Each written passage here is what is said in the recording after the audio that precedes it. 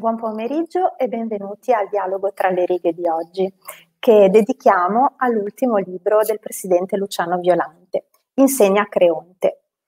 Tre errori nell'esercizio del potere. Abbiamo ospite per discuterne con il presidente Violante e il presidente Matteo Renzi. E, grazie dunque ai nostri relatori e a Pietrangelo Buttafuoco che abbiamo invitato a moderarli. Prima di passare a lui la parola, eh, introduco Daniela Bonato, che è l'editor che ha seguito questo volume e che introdurrà appunto l'incontro. Grazie a tutti. Eh, buon pomeriggio a tutti. Non vedo Luciano Violante sul video? Eh, sì, ora c'è. Um, credo di poter dire che quando Luciano Violante si è accinto a scrivere questo libro, ma ce lo confermerà poi dopo, eh, a partire dalla figura di Creonte e dalla tragicità delle sue scelte, eh, non immaginasse che questo libro sarebbe uscito in un momento in cui l'oggetto del dibattito politico era proprio l'errore, gli errori, gli errori individuali, eh, ossessivamente registrati quotidianamente, i passi falsi, i tratti comportamentali. Questo è, è stato il nostro il dibattito politico più recente. Eh, che sintomo è questo? È il sintomo di una politica schiacciata sul presente? È la conseguenza di una politica particolarmente personalistica che mette in capo a un leader, a, a, a, un, a un, leader di partito, a un capogruppo, delle scelte solitarie? Eh, anche Creonte era un decisore solitario, ma Creonte era re di Tebe, era un tiranno, non, non era l'espressione di una politica o di un progetto collettivo, di un progetto corale. Eh, siamo qui oggi per parlarne, o meglio per ascoltarvi, ascoltare Luciano Violante, che è l'autore di questo volume, eh, con un testimone d'eccezione, un protagonista della vita politica che è Matteo Renzi, e Pietrangelo Buttafuoco, che ci aiuterà in questa stanza virtuale a lasciare fuori dalla porta il clamore della cronaca e dell'animosità che in qualche modo ad essa è legata, ci aiuterà a capire eh, per cosa ci insegna ancora Creonte e perché in qualche modo eh, è uno spunto per la politica anche odierna. Grazie. Grazie, buonasera a tutti voi e mi permetterete di togliere per un attimo, togliermi dal mio ruolo di moderatore e mi presento a voi in una mia vecchia veste, che è quella di libraio, e quindi di presentare innanzitutto il libro in quello che è la sua fondamentale novità, quella di ribaltare la prospettiva storica a cui siamo abituati, partendo proprio da una sottolineatura che Luciano Violante, in Insegna Creonte, porta all'attenzione di tutti noi attraverso un'immagine, ed è questa, e cioè che le tragedie greche possono essere rappresentate in abiti a noi contemporanei. Vuol dire che un qualcosa che probabilmente non ha avuto mai un esito di esistenza è presente nella nostra memoria, nella nostra storia, tant'è che noi con Antigone veniamo a conoscere della storia di Creonte e veniamo a conoscere di un qualcosa che ci riguarda, cioè la tragicità della politica che inciampa continuamente nell'errore. Adesso torno moderatore presentando il libro perché in questo lavoro Luciano Violante, in questo suo saggio, mette innanzitutto se stesso, la sua esperienza, le sue giornate da protagonista della politica, da studioso, da intellettuale, da giurista e quindi in un corpo a corpo con quella che è la memoria della tragedia, andando a individuare tre errori fondamentali nell'esercizio del potere, che tra parentesi arte nobile per eccellenza.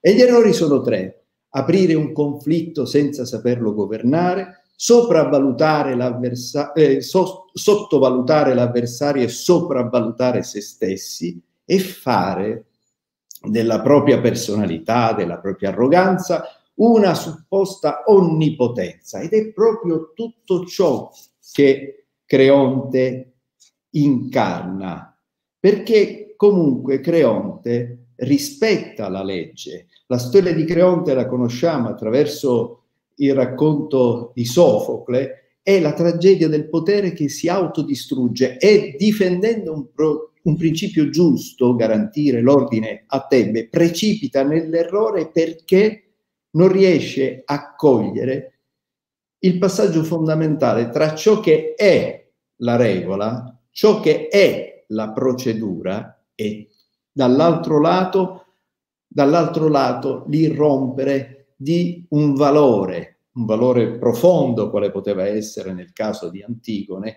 radicato e incardinato proprio nell'essenza carnale della sua esistenza di sorella, o dall'altro lato un valore ancora più potente di quanto possa essere la legge.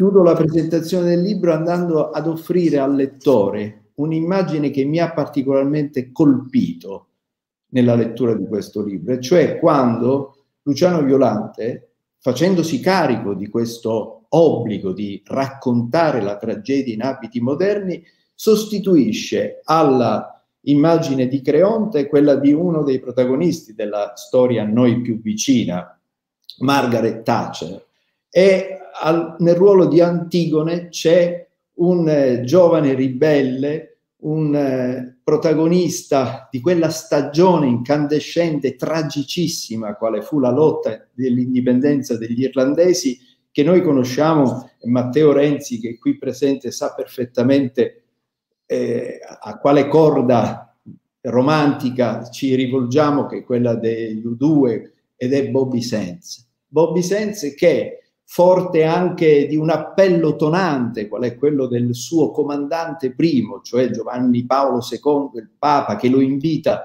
a recedere dalla sua decisione di suicidarsi per protesta, malgrado ciò porta in atto una disobbedienza alla legge e Margaret Thatcher, che come Creonte invece deve tutelare l'ordine in quel frangente si autodistrugge. Io qui allo stesso presidente Violante l'ho, l'ho segnalato, c'è una componente forte che è quella del romanticismo politico, dell'inevitabilità della tragicità politica e ancora una volta da libraio dico coerente col catalogo del Mulino proprio perché ripercorre tra le categorie del politico quella dimensione dove l'io diventa noi mi taccio nel ruolo di presentatore e adesso arrivo in quello di moderatore.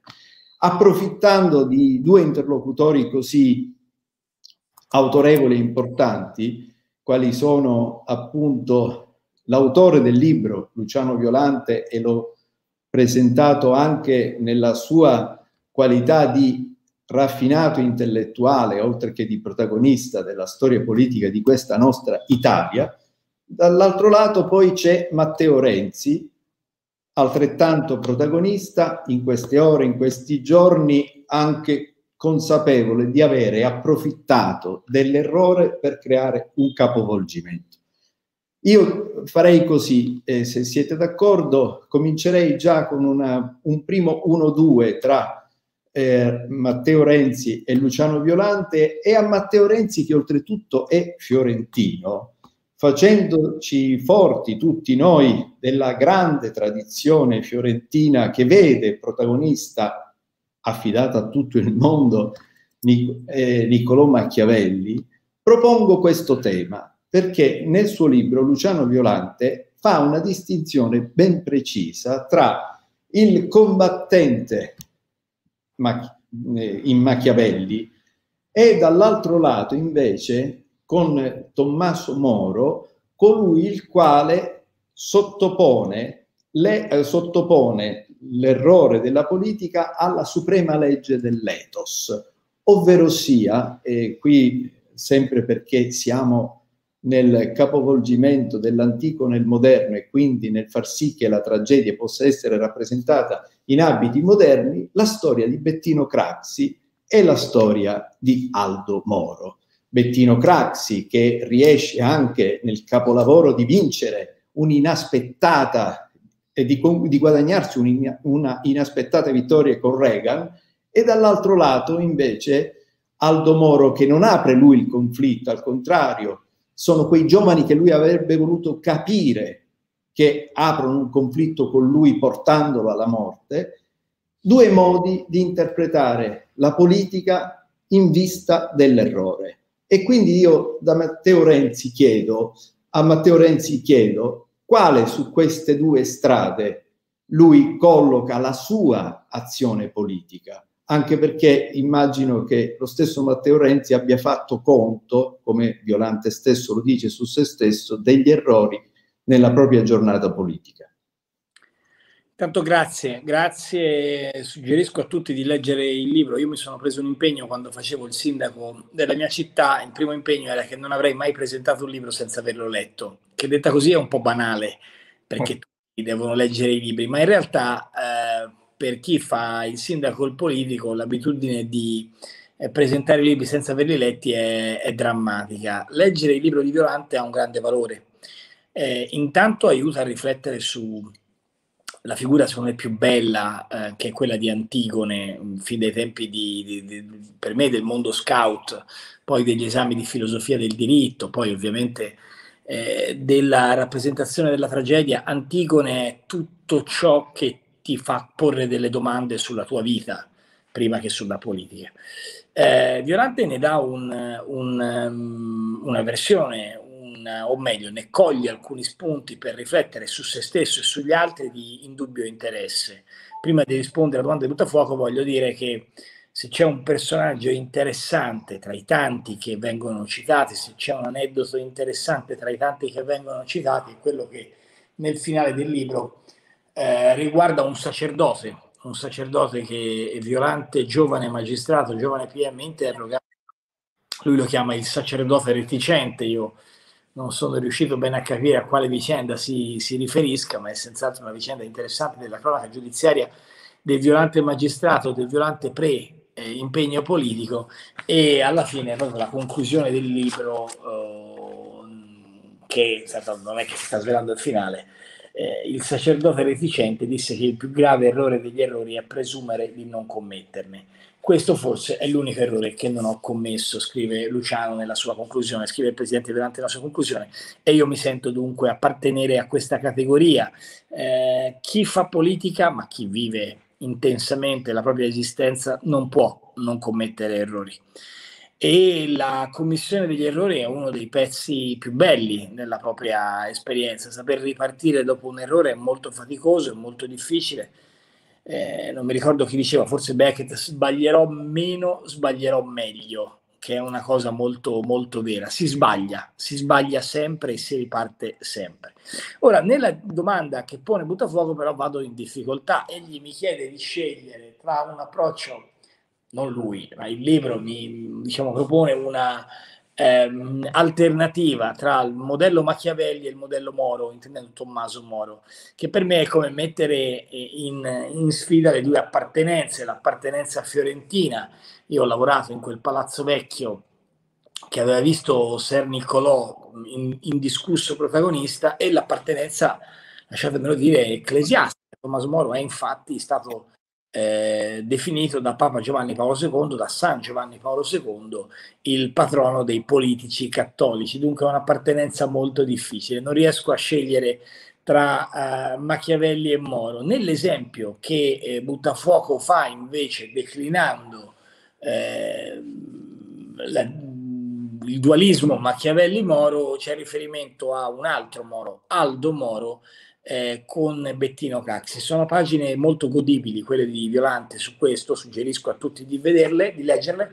Eh, per quello che riguarda la domanda che Buttafuoco fa a me, è difficile dare una risposta. Intanto perché eh, non sono degno di essere paragonato a cotanta ehm, storia, mm, poi perché in uno dei miei discorsi al Senato quello forse a cui tengo di più, che è quello dopo una, l'inizio di una indagine giudiziaria, l'indagine Open nel dicembre 19, Eh, io feci proprio due citazioni, citai sia il discorso del 1977 alla Camera dell'onorevole Moro che Violante eh, ripercorre nel suo testo, eh, molto bello tra l'altro perché è un discorso e devo dire che, che, che con la maestria che, che, tutti noi gli riconosciamo, Violante che ancora non era in Parlamento, oh, fa notare come quel passaggio sul non ci faremo processare nelle piazze è un po' più complicato, un po' più serio di come viene raccontato nella sintesi da tweet della politica di oggi. E dall'altro lato quello straordinario discorso di Bettino Craxi del 3 luglio del 92 altrettanto efficace, ancorché anche in quel caso un discorso difficile e presagio di, di, di, di funeste avventure anche per lo stesso Craxi, dove c'è un pezzo ulteriore di cui nessuno parla, e cioè tutto il pezzo su come Craxi aveva capito prima degli altri la crisi europea. Lui parla di Maastricht, parla di come si arriverà a una crisi della finanziarizzazione dell'Europa, una sottovalutazione dell'immigrazione. Tutto questo per dire che, caro Pietrangelo, non sono degno di essere nemmeno minimamente avvicinato a tanta storia.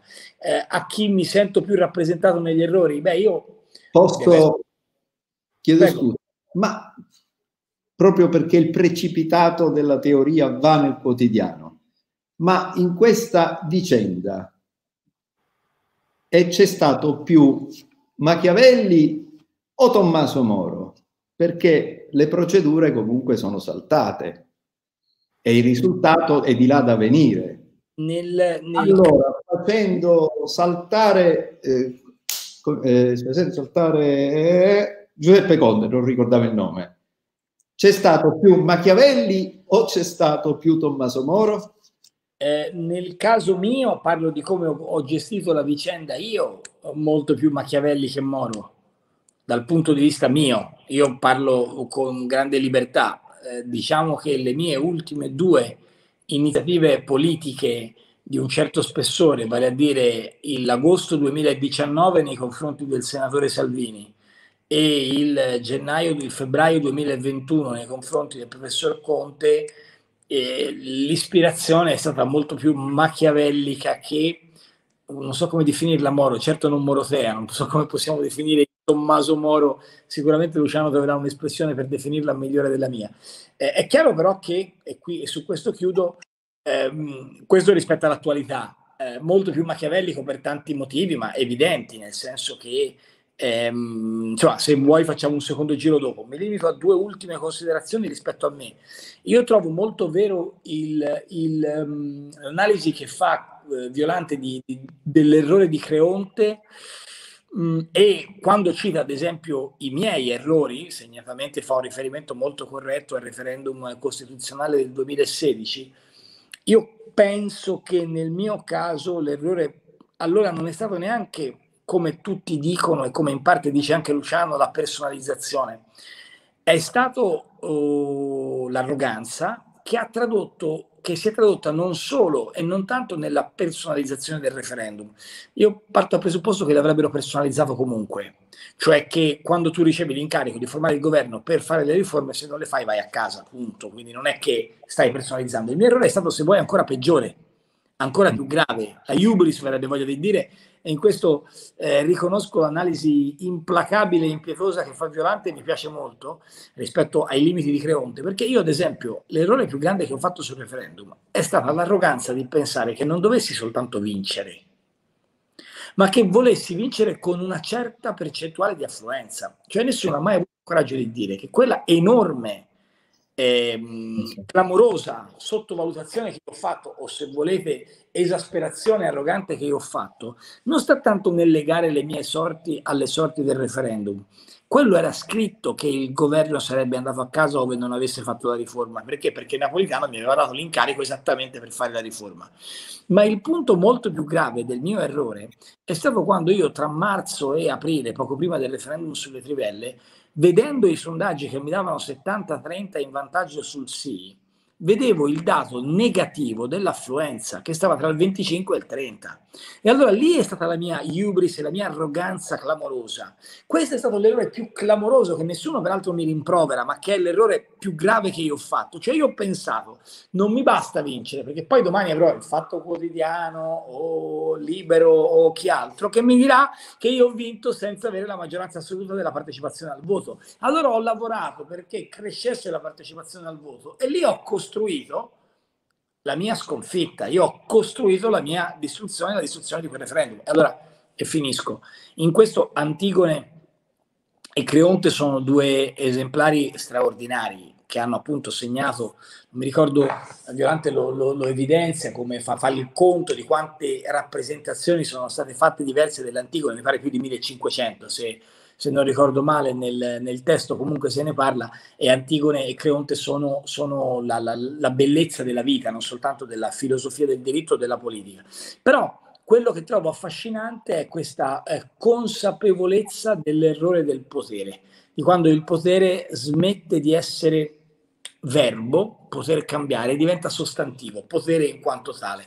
Creonte da questo punto di vista è legittimato dalle regole anzi quasi stupito che Antigone eh, no, non le rispetti, quasi obnubilato dall'amore del figlio e dalla volontà del, di Antigone di, di, di, dar, di, scegliere la morte pur di rispettare una legge divina e da questo punto di vista il libro è veramente un libro che dovrebbero leggere i ragazzi che vogliono fare politica, cioè insegna Creonte, Creonte insegna a ciascuno di loro che in politica si può commettere errori, si commettono errori, anche in magistratura direbbe eh, Luciano o nella vita quotidiana, ma la grandezza è imparare dagli errori. Da questo punto di vista questo libro è veramente un libro prezioso e affascinante.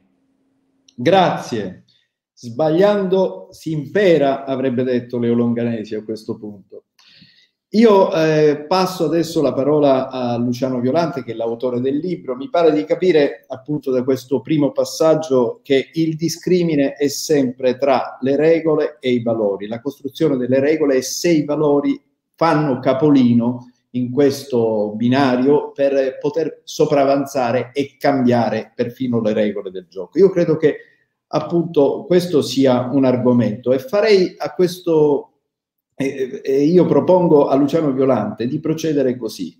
Innanzitutto eh, cogliere gli spunti che ha offerto Matteo Renzi nel suo primo intervento e poi anche a lui io voglio chiedere, proprio forte della sua esperienza nelle istituzioni, nella vita politica, nella vita della magistratura, come lui personalmente ha regolato i conti con i suoi errori, e qual è tra questi errori quello che in assoluto attende una soluzione. Mi viene da pensare l'argomento forte, per esempio, di, di queste giornate è il caso Palamara. Cioè, la voce di Luciano Violante credo che eh, ci interessa proprio perché ci accompagna sia per il proprio impegno, sia per le proprie con- consapevolezze e competenze in questo percorso.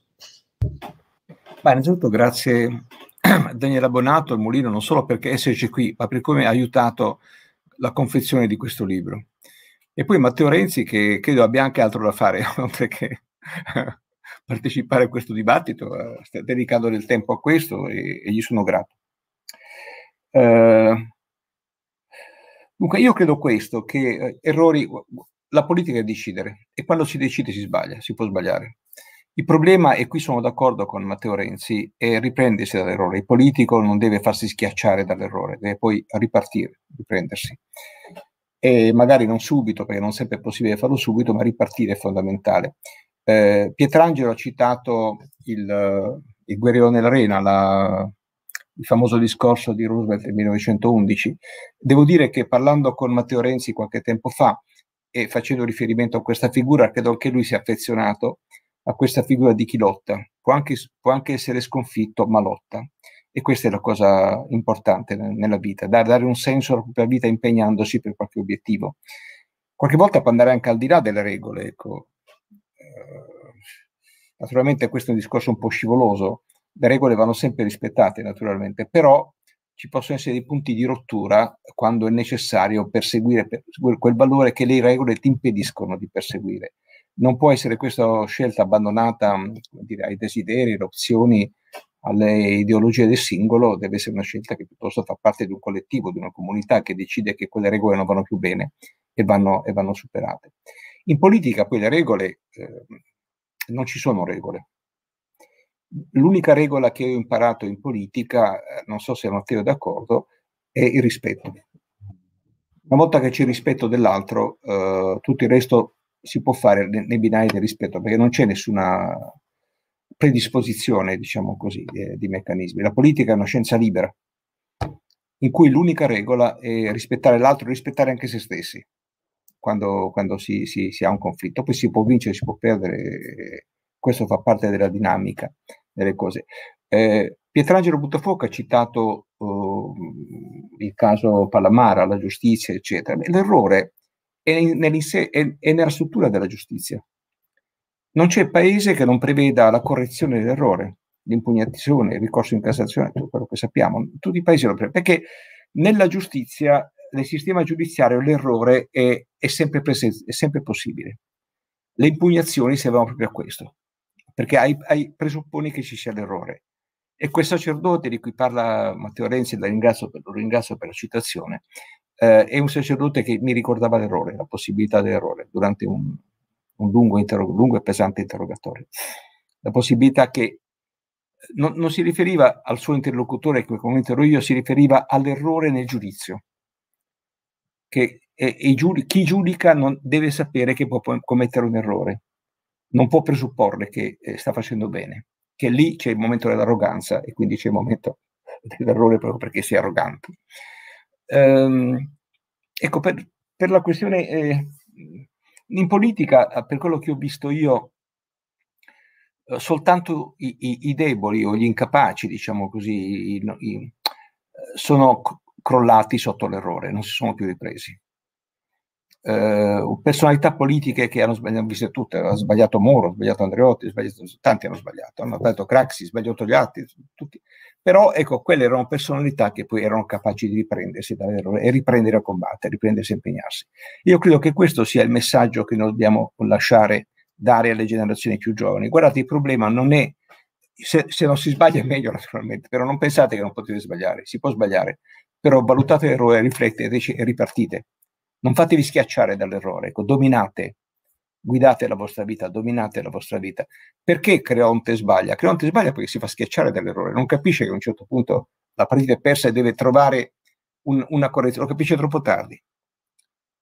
E poi stare a sentire quello che succede attorno. Quando il figlio di Creonte gli dice guarda che qui la gente pensa, la pensa come Antigone, non la pensa come te. E quindi sta attento, non te lo dice perché tu sei potente, ha paura di te, ma ascolta, capisci bene che sta accadendo. Ecco, questa è un'altra cosa che uh, chi fa politica deve capire, cercare di capire che cosa gli succede attorno. Quanto è l'ultima osservazione è questa, i fatti politici si giudicano dai risultati, guardate, non dalle procedure. Si giudicano dai risultati. Se il risultato alla fine è positivo, l'azione politica è stata giusta. Se il risultato alla fine è negativo, l'azione politica è stata sbagliata. E no, no, no, non c'è altro criterio, devo dire, eh, perché poi se voi guardate anche il corso delle storie, eh, il corso delle storie ci dice questo, che quando la scelta era giusta, anche se momento, in quel momento è stata considerata sbagliata, ha dato risultati giusti. Poi ripeto, c'è chi può, eh, chi si appella alle procedure, ma insomma i proceduralisti a me non sono mai piaciuti, devo dire, perché non, sono, sono soggetti come che stanno all'interno del labirinto, ma non cercano di uscirne non sfondando i muri, ma intelligentemente, cercando di superare il labirinto, eh, senza restare prigionieri. E quindi io eh, dico tutte quante le scelte politiche vanno giudicate sulla base dei risultati. Eh, credo che questo è il dato di fondo che va... La scelta politica che fece Matteo Renzi a tempo del referendum, che come eh, Matteo sa io sostenni, eh, fu una scelta politica eh, che, che che produsse un errore, certamente. Produsse una... Perché? Perché si perse il referendum e guarda, quella sconfitta del referendum non fu soltanto sconfitta del referendum, fu il cambio di fase. Cambiò una fase della vita politica italiana. Eh, tant'è che poi la riforma che abbiamo avuto successivamente, quella riduzione dei parlamentari, è stato, è, a mio avviso è un disastro perché non aveva quella cornice attorno che aveva la proposta che aveva fatto Renzi. Ma insomma, questa è la mia opinione personale che fu, fuoriesce da, da, questo, da questo ragionamento. Ecco, io invito sempre, finisco, a considerare se una scelta politica è giusta o sbagliata eh, aspettando il risultato. Grazie. Il guerriero deve stare nella polvere, il guerriero si ritrova nella polvere. Gli errori quindi sono fondamentali, soprattutto per incontrare la realtà, quello che è venuto meno spesso è stato questo rapporto con la realtà, tant'è vero che ci siamo preoccupati sempre di eh, fronteggiare i sintomi e di non cogliere mai quello che provoca la malattia, quello che genera il disagio. Ed è stato un difetto della politica. Ma ci domandiamo, in questo passaggio d'epoca, è un argomento eh, con cui spesso per il privilegio di incontrare Violante eh, discuto con lui. È un periodo in cui noi abbiamo assistito al tramonto più che della politica dei partiti e ci troviamo nella situazione in cui questi partiti non hanno avuto eredi, non hanno saputo trasmettere eredi. Io sono curiosissimo al, alla, e soprattutto alla luce della lettura di Insegna Creonte e quindi del confronto con l'errore, sono curioso a questo punto di avere il punto di vista di Matteo Renzi riguardo anche e soprattutto alla sua esperienza personale, proprio da protagonista della politica, di capire di chi si sente erede o se lui si vive come un successore. Di tante, tantissime eh, pagine della storia politica italiana. Prima abbiamo citato Bettino Craxi, a molti lui ha ricordato Bettino Craxi, poi abbiamo citato Aldo Moro, l'esperienza politica di Matteo Renzi nasce nella democrazia cristiana, ma poi nel frattempo abbiamo avuto la stagione del berlusconismo. Il nostro comune amico Giuliano Ferrara ha scritto un libro, Royal Baby, immaginando e descrivendo in Matteo Renzi l'erede di Silvio Berlusconi. Le giornate che stiamo vivendo, le ore che stiamo vivendo, rappresentano un ulteriore capitolo di un qualcosa che, come dice Luciano Violante, deve essere giudicata in base ai risultati. Il chi, vive, il chi vivrà, vedrà, si saprà quanto prima. Ecco, Matteo Renzi si sente erede o successore e di chi? Di tutto questo straordinario album della politica italiana.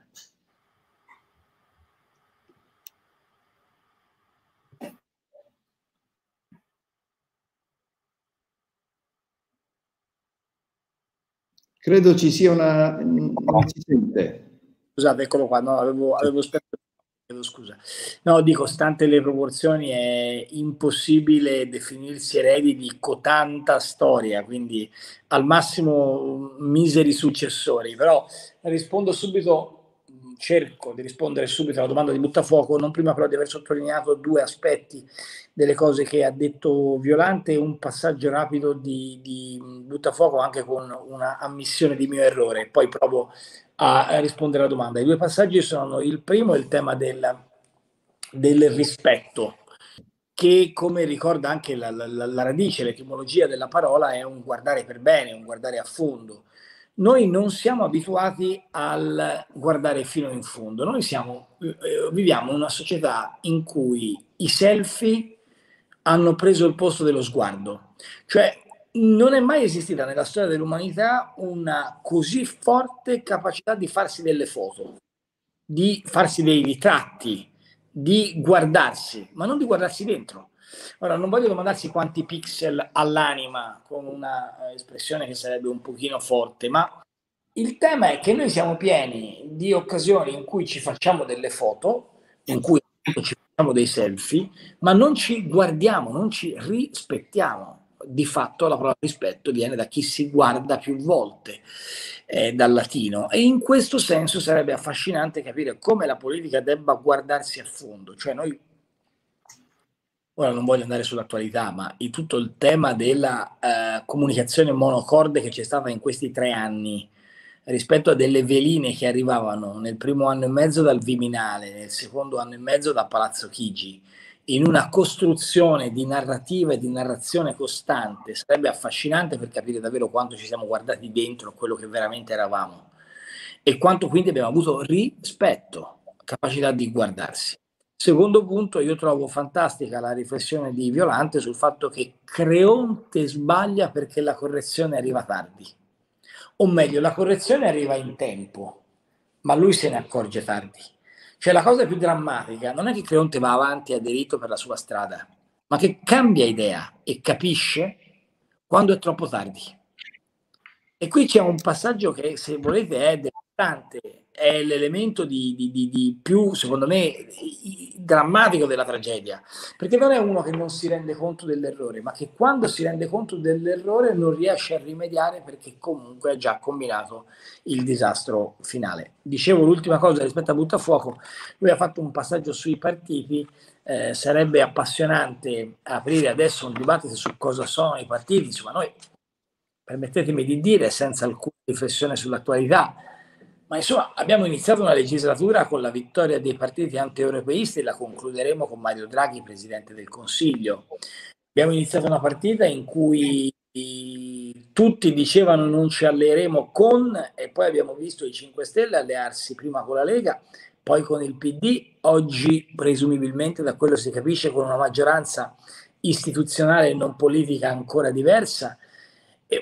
La stessa eh, interessantissima svolta che ha fatto questa mattina Matteo Salvini, eh, tra una svolta che nei partiti vecchia maniera sarebbe stato impossibile fare. Poi voi direte, ma caspita, tu hai fatto il segretario di un partito che ha ottenuto il 40.8% e per rimanere alla storia soltanto ha vinto le fanfani nel 58 abbiamo fatto un risultato analogo, cioè per 56 anni, dal 58 al 2014, nessuno ha ottenuto quel risultato, quindi io ho le mie responsabilità nel non aver costruito una cultura politica di partito accanto al risultato elettorale o al buon governo, perché io trovo difficile, quasi nessuno si lamenta del nostro governo, eh, quasi nessuno apprezza il mio lavoro come segretario del PD e questo deve farmi riflettere rispetto a tutti i temi che da insegna Creonte potrebbero aprire ulteriori discussioni. Però c'è una riflessione più puntuale chiesta da Buttafuoco eh, a cui non so dare risposta, nel senso che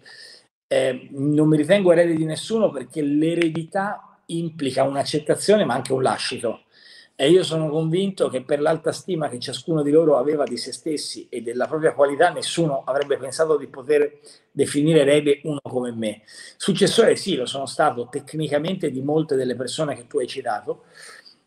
Se però la domanda era su una sorta di auto o di carta di identità che tu chiedi a me, eh, io dico che vengo da una cultura nella quale eh, il, il, primo esempio politico che ho avuto in famiglia indicato da mia madre era Bob Kennedy.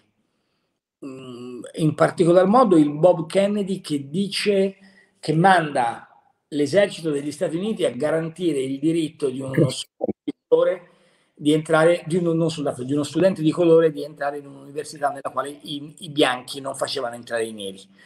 Eh, vengo da una cultura politica in cui per me l'espressione ZAC significa tante cose perché Zaccagnini era l'immagine di una democrazia cristiana diversa da quelle di prima. Io non sono mai stato democratico cristiano, forse più per ragioni di tempo che per altro. Eh, ho fatto una tesi di laurea su Giorgio Lapira perché quella cultura politica mi sembrava a casa mia, la cultura politica della Pira sindaco, amministratore prima ancora della Pira professorino alla Costituente. Eh, sono un appassionato dei discorsi parlamentari di Mino Martinazzoli per restare in, questa, in quest'area, però sono anche quello che quando era nel PD ha fatto di tutto per portare il PD dentro i socialisti europei, perché quella è la casa del Partito Democratico e non mettere il Partito Democratico in quella casa sarebbe stato secondo me un errore. Eh, dopodiché un errore. ti dico una cosa che così ti scuola, ma più una civetteria che non altro nel corso della crisi, diciamo lunedì scorso, martedì, non ricordo, un autorevole Sherpa, sente?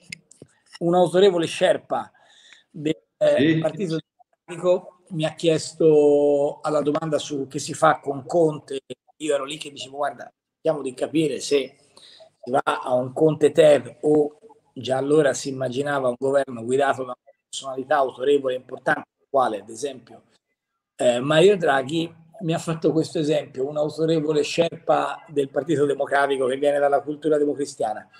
Devi decidere se essere come noi della sinistra DC, che alla fine tutte le volte in cui c'era da tagliare la testa ci fermavamo, o se vuoi essere Andreottiano, che alla fine tagli la testa e chi si è visto si è visto. La persona che me l'ha fatto non farò nessun tipo di nomi e di riferimenti a attuali ministri della cultura di origine ferrarese e di provenienza sinistra di C, così che nessuno possa capire a chi mi sto riferendo. Però il concetto è che la mia cultura politica, la mia politica... La mi mia... pare di capire sia uno scrittore.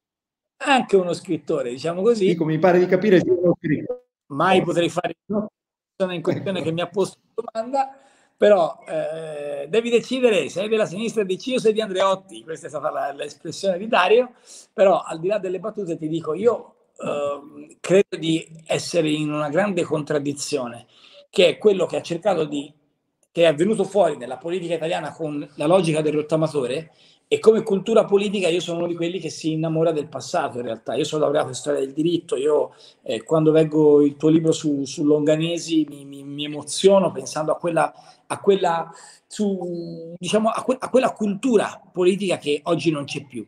E tuttavia non sono in grado di definirmi erede di nessuno, successore di tanti, forse persino di troppi. Grazie, grazie. Quindi si sente la eco delle giubbe rosse. Vedo anche prezzolini e soffici. Bene, eh, immaginate per un attimo di, di trovarvi a Siracusa.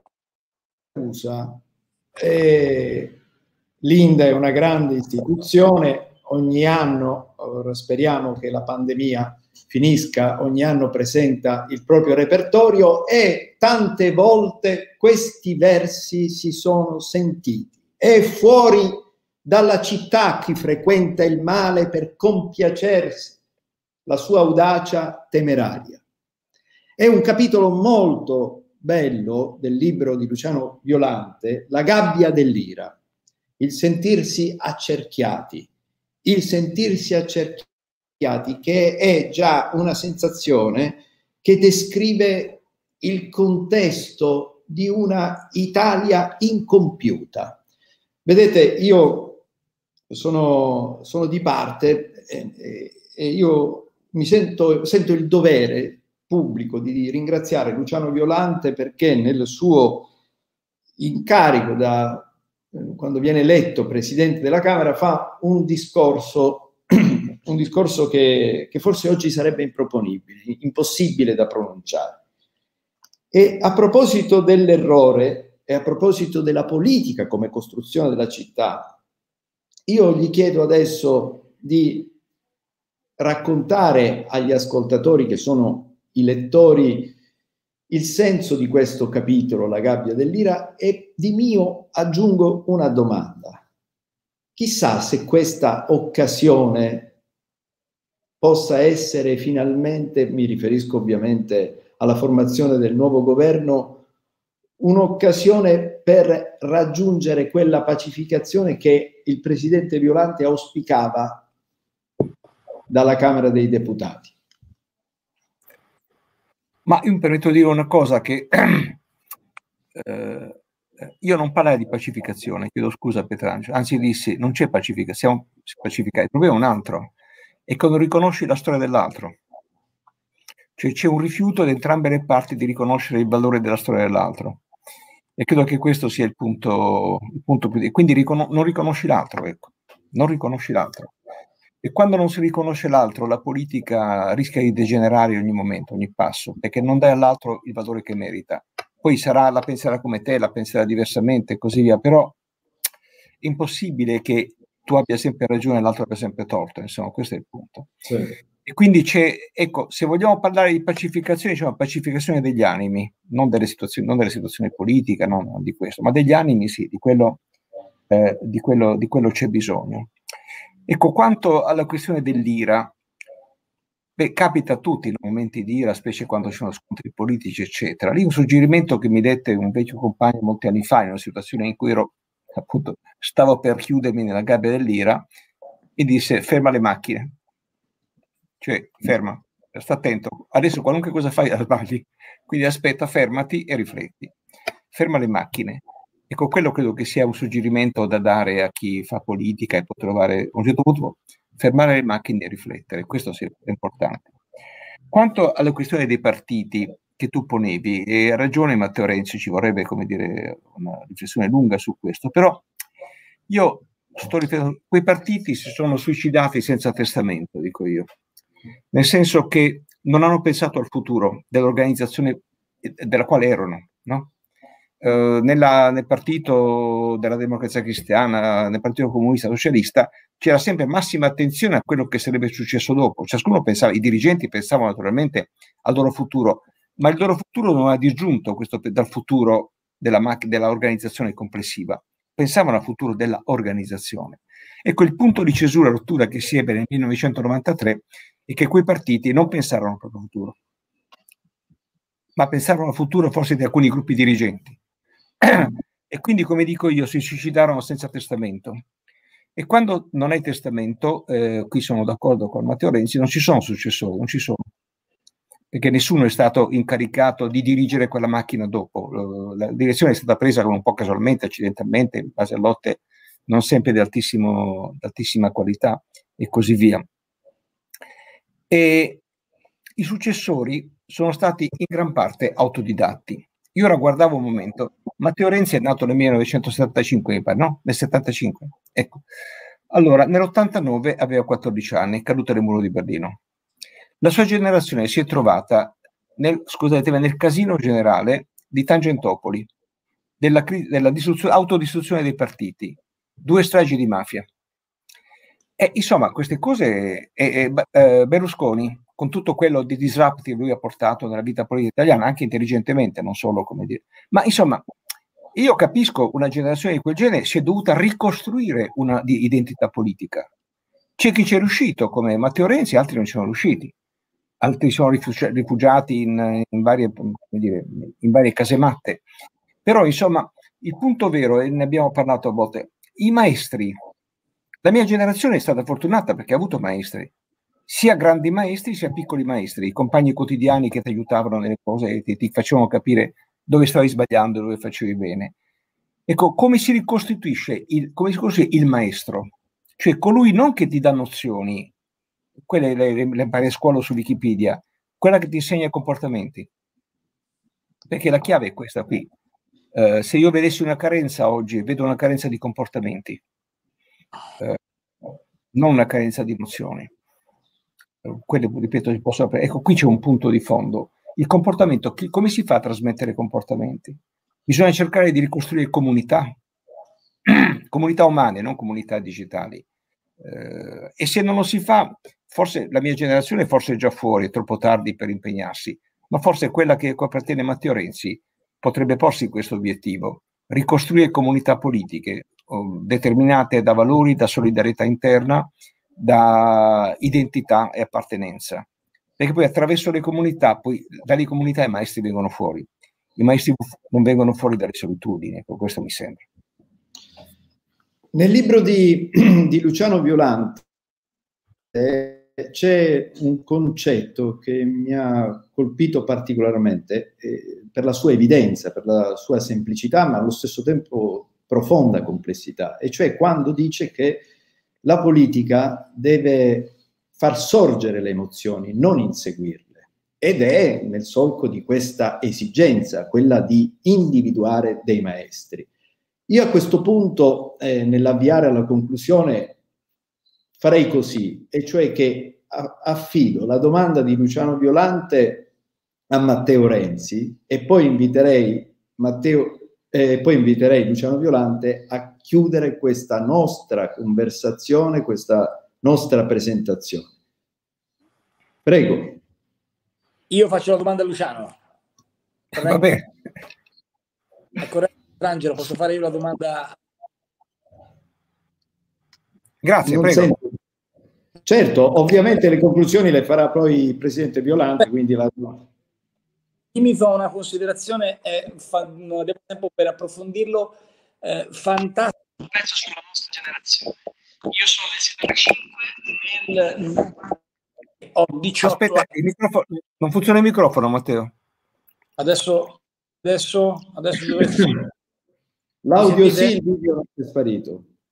Sì, adesso, adesso, adesso sì. Adesso sì. Adesso sì del nativo digitale. Allora, eh, sarebbe affascinante, non abbiamo tempo, tutto il tema della nostra generazione. Io nasco nel 75, faccio giurisprudenza perché rimango sconvolto ciò che accade nel 1992 a Borsellino, tutto ciò che eh, avviene nel mondo della politica. Dico anche... Scusa Matteo, non, non funziona il microfono, Matteo. Non funziona il microfono. Non si sente più? Adesso vediamo. Adesso se... sì, adesso sì devi avvicinare. Ti devi avvicinare. Scusa. Allora, vediamo se adesso funziona meglio. Sì, sì. Dico 1993, io ho 18 anni, faccio 18 anni nel 93. Eh, la prima volta in cui voto c'è già Berlusconi. Non ho votato Democrazia Cristiana essenzialmente perché non ho fatto in tempo. Eh, la nostra generazione non ha avuto maestri e questo è un tema che eh, eh, Violante ha posto ed è un tema affascinante. La generazione precedente alla nostra andava eh, alle riunioni e se leggeva un libro politico era figo. Eh, tu andavi, la mia generazione andava alle riunioni, se leggeva un libro politico era sfigato. Questo utilizzo due espressioni tutt'altro che da mulino per dire che cosa? Per dire che c'è un tema affascinante del rapporto maestro ehm, e, e allievo. E, mi piacerebbe moltissimo discutere di tutti questi temi, soprattutto nell'anno in cui si ricorda i 700 anni dalla morte di, di, Dante Alighieri, non dimentichiamo mai che Dante inizia il cammino perché c'è un maestro, non mi mossi io, diciamo, tutto, tutto, il racconto di Dante è Virgilio, ha bisogno di una guida, di un maestro, tutti noi nella nostra vita avremo bisogno di maestri, la mia generazione non li ha avuti. E se li ha avuti quelli pure bravi, pensate soltanto a Craxi, visto per fare, per fare un riferimento, parlare bene di Craxi nel 93 era impossibile chi avesse parlato bene di Craxi sarebbe stato immediatamente etichettato come un pazzo scatenato. Io ricordo di aver fatto un atto di resistenza civile mia e di essere andato al giorno della mia maturità, nel giugno del 93, a una copia del giorno di Paolo Liburi allora, che era l'unico giornale non funziona il microfono, non funziona il microfono. Attento. Non so. Eh, ecco, adesso sì. Cerco di farla breve, tengo in mano. Eh, finisco, faccio la domanda, così che forse evito di fare eh, comiziacci finali. Una domanda secca a Luciano è: chi è l'Antigone di oggi secondo te? Ma mi cogli impreparato, guarda. Anch'io non sapevo di fare la domanda e sono andato lì. mi cogli impreparato. Forse non ci sono Antigoni perché non c'è nessuno che si batte per valori superiori però forse troppo pessimistica come osservazione, vorrei rifletterci meglio. Uh, Dan mi viene da, da dire eh, non vedo persone che si battono a valori superiori. Non so, ora che si parli, vedo un qualcosa di Antigone in Papa Francesco, che lui è minoranza. Lui è minoranza nella, anche nella comunità, nel gruppo dirigente cattolico, si può usare questa espressione come gruppo dirigente, no? perché lui è minoranza lì e, e cerca di affermare valori eh, che non sempre gli altri capiscono, non sempre gli altri condividono. Questo nella Fratelli Tutti, quando dice a un certo punto della verità che insieme a giustizia e misericordia. E la misericordia che cos'è? Eh, io non so, sono credente ma non sono cattolico e credo che la misericordia sia la consapevolezza dei limiti dell'altro e dei propri limiti. Cioè avere consapevolezza vuol dire rispettare i limiti dell'altro e rispettare il proprio limite. E lì dentro c'è la verità. E forse mi pare, ecco, se dovessi rispondere riflettendoci bene, forse Francesco è una delle Antigoni contemporanee. Poi chi sono i Creonte nei suoi confronti, beh, questo appartiene, come dire, a un altro, un altro capitolo della, della nostra riflessione.